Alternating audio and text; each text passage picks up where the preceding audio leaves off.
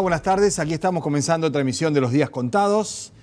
En esta semana que está caracterizada desde el punto de vista de la política en la provincia por el lanzamiento de la reforma constitucional. Hoy se concretó una suerte de acto de las mismas características que el del cierre de la semana anterior, pero en la ciudad de Santa Fe. Y de eso vamos a estar hablando en un rato nada más con uno de los representantes del Partido Socialista, del Frente Progresista, legislador provincial, eh, porque hay, por supuesto, visiones, perspectivas, en algunos sectores mucho entusiasmo. Eh, por cierto, hay que decir que en términos este, estrictamente informativos, la unanimidad que se consiguió en la dirigencia y en la militancia del Partido Socialista, en algún momento alguien sospechaba o objetaba que esto pudiera ocurrir. No obstante, esto es un primer paso, hay que ver qué se consigue o qué se obtiene de las otras fuerzas del arco político de la provincia, porque hace falta para sancionar la ley que establezca la necesidad de la reforma, mayoría especial en ambas cámaras. Con lo cual es necesario, imperioso, inevitable, por otro lado, el concurso de fuerzas políticas opositoras al gobierno de Miguel Lipsi. Este es uno de los temas.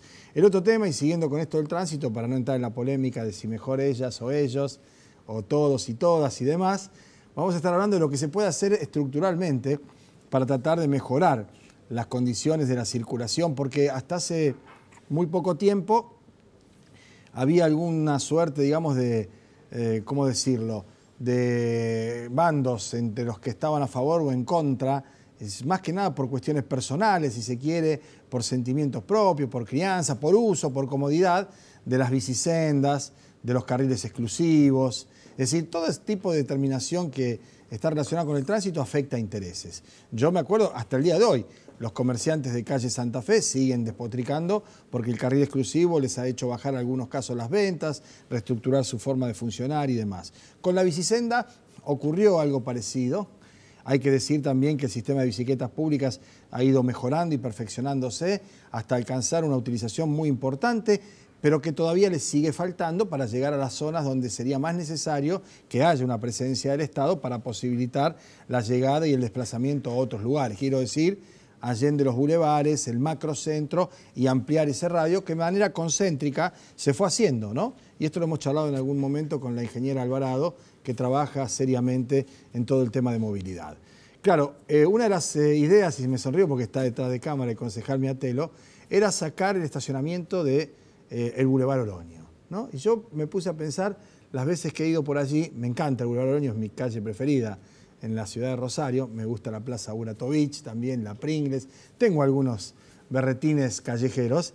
Eh, y decía, si ahí hay treinta y pico de nosocomio, clínicas, eh, diagnóstico por imágenes, centros de rehabilitación, ¿a dónde van a parar? Y me decían, pero tienen rampas, pero no es lo mismo. Pero en cualquier caso, o el estacionamiento o la bicicleta, las dos cosas no, porque la idea era meter una bicisenda. Lo que hay que hacer seguro, y esto más allá de la belleza del lugar, de que incluso hay gente que se produce para ir a caminar por el Boulevard de Oroña a la tardecita cuando cae el sol ¿eh? y combinan las zapatillas fluo naranja con la remera. Me parece bárbaro todo eso. Ahora, hay algunos gandules que van en bicicleta por arriba del cantero central. ¿eh? Hay otros que van con la bicicleta y el rope, ahí atadito, pedaleando, y lo llevan ahí, se llevan puesto todo lo que mida menos de un metro treinta, un metro cuarenta, pibitos, mujeres, este, personas que vengan en cuclilla. Eso me parece que habría que también meterle un poquito de mano y controlar, ¿no? Así como somos tan exigentes, y está bien, con los automovilistas o con los motociclistas, cuando hay operativos que doblan en una esquina y están esperándote, o cuando le piden los documentos y los cascos a los muchachos que van en moto, y por lo general los que le piden los cascos y todo eso son los que no tienen ningún problema. Quiero decir, hay otros que tienen otro tipo de mecánica y dinámica y eso por lo general no sé cómo hacen, pero sortean los controles.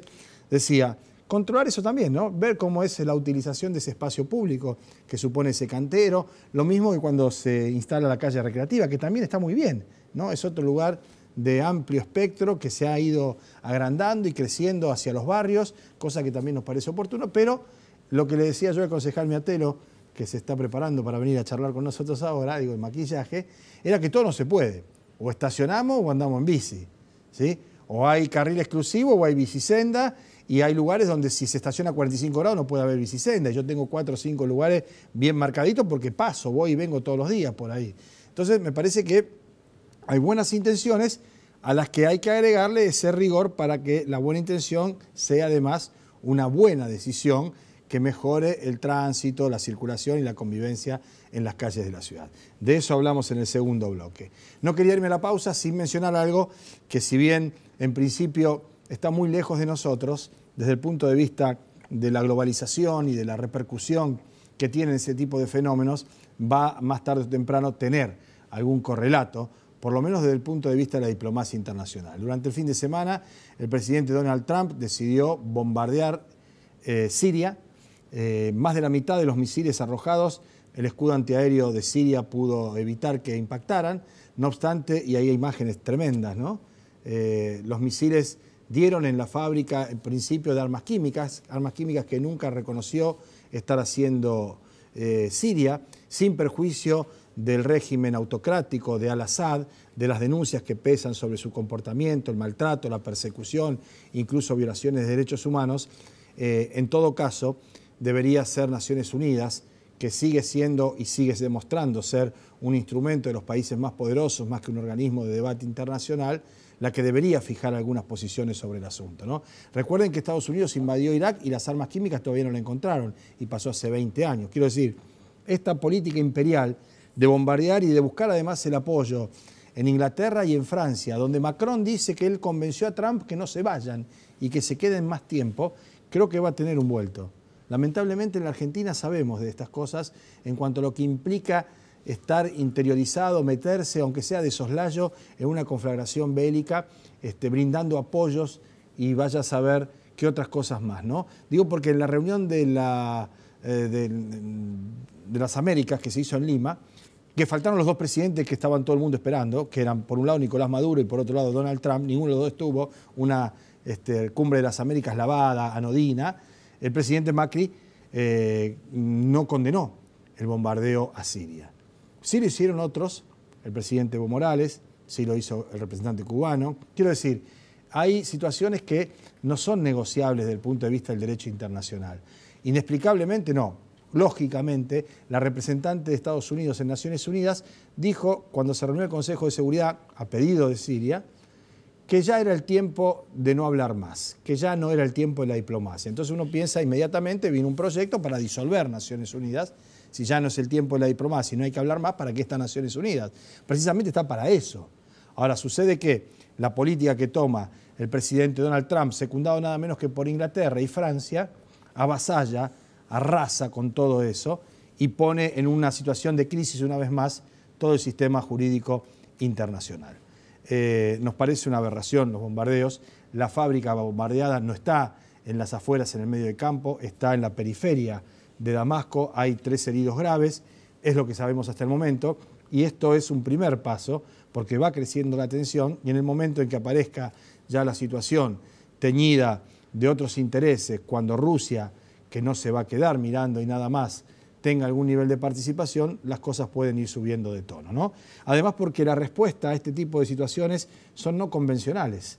¿no? Después uno también empieza a ver fenómenos que son caracterizados como terrorismo internacional, por gente que se inmola, por ataques a personas inocentes de manera deliberada y artera. No es que no haya pasado eso también en Damasco, pero quiero decir, esto empieza, sabemos cómo empieza, y si bien podemos presumir cómo puede llegar a terminar o desarrollarse, realmente no tenemos la seguridad de poder contárselos. Bueno, queríamos decir esto, ¿no? La apertura del programa, nos vamos a la pausa. Cuando volvamos estará aquí el diputado Joaquín Blanco para hablar de la reforma constitucional. Ya venimos.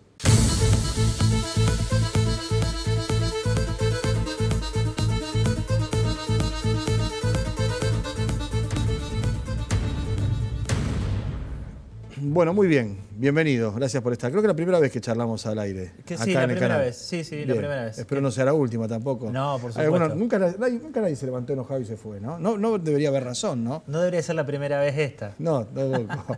Ahora, eh, se presentó en Santa Fe también el proyecto que acá se había dado a conocer la semana pasada, sobre el fin de semana, ¿no? Y la primera objeción que se plantea desde aquellos que están, eh, por lo menos, no digo en contra, pero por lo menos distantes de la reforma constitucional como un hecho que desde el gobierno se plantea como necesario y oportuno, es que los santafesinos están pensando en otras cosas, les preocupa los tarifazos de la empresa provincial de energía, del agua, que hayan desplazado a un jefe de drogas peligrosas y de la Policía de Investigaciones ahora, y que siga habiendo tres asesinatos el fin de semana en la ciudad de Rosario, dice, esto no es para ahora. A ver, nunca fue tiempo para la reforma en, Argentina ni en Santa Fe. La última reforma constitucional fue en el año 62. Diez días después de que se sancionó, golpe de Estado. Y en ese contexto institucional, durante tres meses se discutió el futuro de la provincia. ¿Nosotros qué estamos planteando? Hoy hubo un acto muy importante en Santa Fe, donde se volcó a la sociedad un proyecto concreto para discutirlo, para enriquecerlo, para mandarlo a la legislatura. La semana pasada un hecho que yo creo que no se tomó la relevancia que tuvo una misma mesa discutiendo de igual a igual todos los partidos políticos de Santa Fe. El proceso es muy bueno. Hay un proceso de discusión de la reforma constitucional que va más allá de los derechos que se sumen, va más allá de la duración de los mandatos. Tiene que ver si tenemos la capacidad para ponernos de acuerdo hacia dónde vamos colectivamente. Y ese proceso es el que está en marcha en la provincia de Santa Fe, que no lo inició Lifchit, esto lo venimos planteando hace 10 años con Wiener, antes lo planteó Bey. Es más, Reutemann cometió la tropelía de querer que lo habilite la Corte para otro mandato, ¿no? Y perdió 9 a 0. Cuando se presentó para que ser reelecto, porque eso es lo que le interesaba más que reformar la Constitución, 9 a 0 para atrás, y era la Corte a mí. ¿no? Entonces, esto se viene discutiendo en Santa Fe hace por lo menos 20 años. ¿Cuál es la diferencia ahora? Creo que estamos más cerca. Creo que hay una voluntad de los partidos políticos eh, que manifiestan claramente que son reformistas, que es tiempo de actualizar la Carta Magna, que es necesario que realmente tengamos una constitución del siglo XXI, incorporando cosas muy concretas que mejoran la calidad de vida, tanto en la justicia, en la seguridad, en los servicios públicos, cosas que los vecinos y las vecinas de Santa Fe puedan verlos cotidianamente. Ese es el contexto en el cual estamos nosotros planteando esta reforma constitucional. Bueno, ¿tenemos dificultades con algún micrófono? No, seguimos charlando entonces.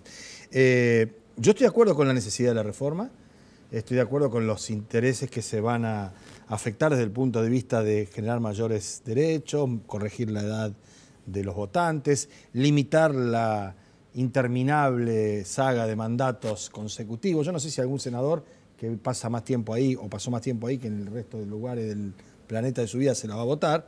No, porque hay senadores que tienen 30 años ya en el Senado de la provincia, de que volvió la democracia, pero esos son sus propios intereses. Lo que sí digo es que hay dos cuestiones que son las que me parece pueden signar el debate. Por un lado son los cálculos de conveniencia política, que son legítimos por otra parte, ¿sí? y por otro lado esos cálculos eventualmente se disiparían si el elemento que es el que lleva ese cálculo, que es la reelección de este gobernador, no de aquí en adelante, la reelección de este gobernador, efectivamente se corriera, se quitara del medio y se hiciera una cláusula transitoria que dijera este gobernador no, o, en todo caso este gobernador juró con esta constitución, él ni siquiera está contemplado. A ver, lo aclaró el propio gobernador Lifchitz. Si es un obstáculo la reelección, es el primero en bajarse. Y, eso es importante, porque vamos a un debate franco en el cual queremos discutir todo. Inclusive los partidos políticos que manifiestan que este no es el momento, que este no es el tiempo de la reforma. Bueno, discutamos cuándo. ¿Cuándo puede ser el proceso para la reforma? ¿Cuándo se votan constituyentes? Pero digo, lo que queda claramente identificado es que hay algunos actores que están buscando un cálculo más mezquino personal, pensando en el 2019, y hay una mayoría de dirigentes, una mayoría de actores de la sociedad civil, académicos, que están pensando que esta es la oportunidad de Santa Fe para discutir su proyecto como provincia. Nosotros queremos dar ese debate. Y en el 2016 el gobernador Lifchi lo planteó. Le dijeron que no era el momento. Lo planteó en el 2017. Le dijeron que era año electoral volvemos a la carga en el 2018, con un montón de acumulado y con un montón de temas para poner arriba de la agenda.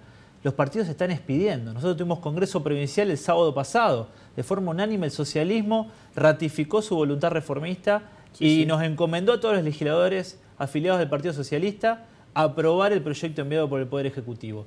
Sé que el peronismo está convocando un congreso, sé que está pasando lo mismo con el radicalismo. Esto que está pasando es bueno. Se le da vida a los partidos. Ustedes tienen 28 diputados en el bloque, de los cuales ya hay un par que no están más en el bloque, ni siquiera orgánicamente. Eh, y pongamos que hay 26 votos ya para partir. No sé si hay 26 votos. ¿Vos crees que hay 26 votos socialistas? Yo creo que en este momento... Necesitas 33, ¿no? Claro, 34. 34. En este momento eh, no hay ninguno. Digamos, tenemos que empezar a construir esa mayoría. yo calculo que Clara García sí. no, fuera de la chanza, digo. Sí. Vos necesitas una mayoría especial en la que necesariamente va a haber concurso de eh, peronistas y o radicales de Cambiemos y o PRO. Y eh, sectores de izquierda, pues también el bloque de, Frade, Mercedes Meyer, Giustiniani y que ahora forman un interbloque. Ahora- Bien. En el Senado, la cosa es más mano a mano, punta y hacha eso. Los del bloque de los, este, del, del- del Frente Progresista Sí. y los peronistas. ¿Sigue andando bien esto? Y bueno, esas cosas pasan, muchachos. Se me cayó el micrófono. Seguimos. Eh, este, este es un mensaje de algún compañero. a, a- a mí me llamó la atención que ya hay tres o cuatro que dijeron que sí. Claro. Y falta uno o dos a lo sumo. Y yo creo que cuando se consiga ese uno o ese dos, los otros se van a poner en la, en la ventanilla, en la fila, pa- para, para decir, bueno, si vas a hacer una, una escuela, porque se va a conversar eso también en la negociación lógica de la política. Yo no estoy hablando de nada de espurio, sino la, la negociación de la política. Entonces, eh, Transferri, y Transferri debe querer una escuela en Ricardone, de donde era, y no se la hicieron. Hace dos presupuestos que viene pasando de largo. Transferri, yo lo apunta que puede ser. Después hay otros senadores. En diputados me parece más difícil, a eso iba. Y el proyecto ingresa por diputados. Ajá. Y eso es. Ah, si pasa ya. Y eso es, para nosotros es una buena, buena noticia. Yo digo, es mi primer periodo como diputado, tengo 37 años y estamos discutiendo una reforma constitucional. Digamos, ha- hay un espíritu también, Pablo, y esto también quiero que se refleje, que la, política no es todo toma y daca. No, desde hay una voluntad y hay un espíritu de que esta puede ser la generación que deje un legado a la futura, de que podemos construir los consensos sobre la reforma posible. Cada uno tendrá su reforma ideal. Todos tendremos que ceder para poder construir esa reforma posible en Santa Fe, que exprese esta diversidad política. Ahora, que todos los bloques, o la gran mayoría de los bloques, digan que son reformistas y que es necesaria la reforma, yo creo que es un primer debate que hemos Sí, sí. ganado. Y después estará en el juego de la política, pero también en el juego de la sociedad civil, porque uno va a tener que fundamentar su voto, va a tener que fundamentar en la pública por qué sí, por qué no, va a tener que decir en qué están de acuerdo y con qué derecho no están de acuerdo. Nosotros planteamos, por ejemplo, algo muy claro. Nosotros creemos que esta oportunidad de la reforma constitucional es para que el jefe de policía no lo designe el gobernador a dedo, sino que sea con acuerdo legislativo. Bien. Que haya un pliego, que se conozca sus antecedentes y que el jefe de policía sea elegido en un concurso en el cual el Poder Legislativo opine. Eso habla del día a día, de la calidad de la, de la policía. eso sí. y, y eso lo reflejan los vecinos de la forma concreta. O que, por ejemplo, la caja de jubilación en la provincia nunca pueda pasar a manos nacionales, que se defienda la caja de jubilaciones y el 82% móvil para los docentes y para los trabajadores estatales. Es una definición ideológica muy fuerte, que hay que decir por qué no uno estaría de desacuerdo con eso. O que un presidente comunal, en vez de vivir de campaña permanente, Este cuatro años. esté cuatro años y no dos. O sea, son cuestiones muy concretas en las cuales tenemos una oportunidad. Y de la política, Pablo, y esto también yo creo que hay que hacer un hincapié, la reforma constitucional es una excelente oportunidad para que la política sea más transparente. Nosotros estamos planteando en el proyecto que envió el gobernador la duración de los mandatos cuatro años, Y uno más. más la posibilidad de cuatro años más. Después tomarse un tiempito y si querés volver y la gente quiere que y vuelva, si, te y pueden si te votan, que vuelvas. Pero no así perpetuo. Pero la rotación en la política, la renovación en la política, hay que ponerle límites. O como por ejemplo lo que estamos planteando, todo lo que tiene que ver con el capítulo de independencia de la justicia, el Consejo de la Magistratura y que no venga un gobernador a designar nuevamente por decreto de los jueces. Son cuestiones muy centrales. Entonces, si ponemos todo eso arriba de la balanza y hay un debate que me parece muy sano, que sea a través de los partidos políticos, creo que estamos en un proceso que puede ser muy rico para la provincia. Y si hay buena voluntad, el 2018 puede ser el año para la reforma. ¿Cuándo toma estado parlamentario esto? Me sienta por diputados. Estamos haciendo todo lo posible para que el- este jueves 19 darle ingreso. Supongamos que le va bárbaro bien todo en las comisiones y todo. ¿Cuándo se discute en el recinto? Bueno, nosotros aspiramos que durante el mes de mayo estén en condiciones de estar discutiéndolo. Ahora, Yo no estoy para dar consejo, ¿no? Y menos en, política. Pero que sea ante el Mundial, porque cuando venga el Mundial se acabó todo, ¿no? Salvo que volvamos en primera vuelta y ahí va a ser peor todavía. Quiero decir, los, Los tiempos son antes. crispados van a los estar, ánimos, ¿eh? sí, los tiempos son anteriores. Julio, a ver, yo creo que eh, nosotros tenemos todo el año para definir si estamos en necesidad de la reforma y votar el proyecto que habilite ese tratamiento. Lo que está en discusión este primer semestre es si es el año 2018 en el cual vamos a elegir Bien. los constituyentes. Claro. Esa es la discusión. Otra Ahora, elección. si el acuerdo mayoritario es que elijamos constituyentes durante el año 2019 y para eso da la política santafesina, adelante. Estamos. Adelante, pero reformemos. seguimos charlando, ¿sí? Dale, Pablo. Muchísimas gracias. ¿eh? Gracias a vos. Nos vamos a la pausa cuando volvamos el concejal Osvaldo Miatelo.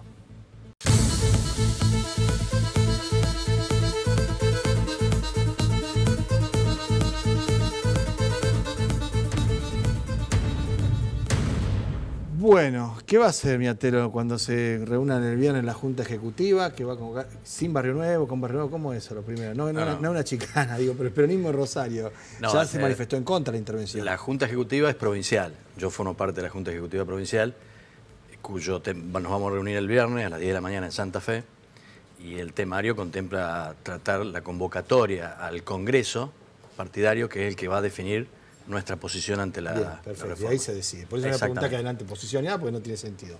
Después, vamos a lo nuestro.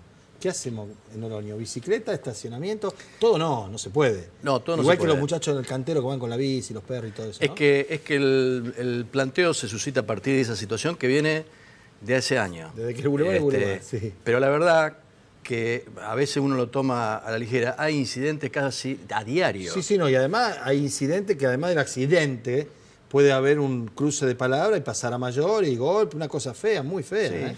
En mi caso vivo relativamente cerca de allí, transito mucho y la verdad que ya no me da la cara para seguir diciéndole a la señora que me para que la culpa es de la intendenta. En realidad la culpa es de la intendenta porque no, ni siquiera hay un inspector para controlar eso porque no se puede circular. la culpa es del que va en bicicleta o lleva el perro. Sí, está bien, pero la responsabilidad de que ese no pueda hacer lo que quiera es de la intendenta. Exactamente.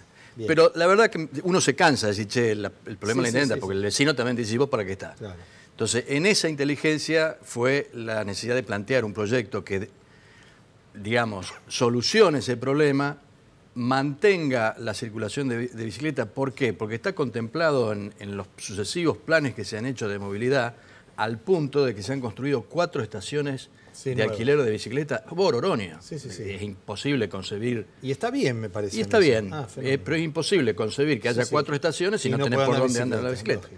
Entonces, como a su vez eso genera la imposibilidad de convivencia entre tránsito y estacionamiento, planteamos la posibilidad de que se evalúe el levantamiento del estacionamiento y correrlo a calles transversales o ver alguna otra variante. Eh, en resumen, más allá de las posiciones en contra, y, sé que se ha generado polémica con esto, eh, lo interesante es generar esa, polémica. El proyecto está y obviamente será enriquecido, cambiado, modificado hasta que salga algo de, que logre un consenso Claro, porque si vos mínimamente espaciás o le pones límite temporal a los estacionamientos, las bicisendas pegaditas al cantero central, yendo y viniendo, permitiría que efectivamente, como bien decís vos, se utilicen las rampas de los sanatorios. Yo he hablado con gente vinculada a la medicina y hay muchos centros de estudio, hay muchos de rehabilitación, hay muchos de, necesariamente llegar con la ambulancia para diagnóstico por imágenes, de fertilidad, de todo. Entonces decían, la preocupación era esa, que llega uno y va a la rampa, el que viene ya está listo no hay rampa, no hay lugar. A eso iba, ¿no? Sí, eh, de todas maneras creo que los sanatorios lo han resuelto bien ahora con las dársenas, porque en realidad la dársena no está pensada para el estacionamiento, sino que para ascenso no, no, para entrar y bajar, sí, sí, por supuesto. Entonces vos tenés El tema es que si vos además haces un carril de bicicenda exclusivo, te queda solo una tirita en el medio para circular.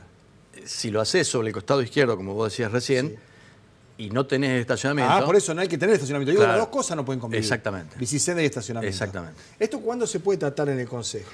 Esto fue Para la que comisión, más ideas, más gente. Esto fue la Comisión de Obras Públicas y está en condiciones de ser tratada la semana que viene. He visto, a partir de esto, planteos alternativos que bienvenidos sean. De todas maneras, algunos planteos alternativos que está haciendo el oficialismo eh, lícito es decir que no lo hicieron durante años y que ahora lo hacen. Pero bueno, que sirve. Pero bienvenido sea. bueno, se sacude la modorra. Y que se discuta y que se resuelva algo. Lo único que no se puede hacer, Pablo, es no hacer nada. Claro.